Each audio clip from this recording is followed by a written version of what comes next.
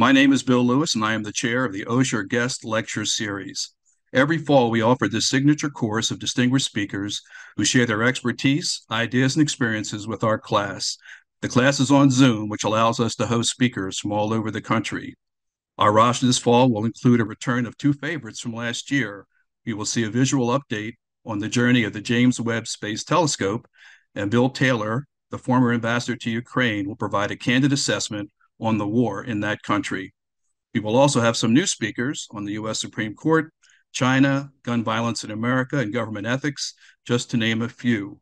But perhaps the most appealing aspect of the guest lectures is the robust question and answer period from the class that follows the speaker's remarks.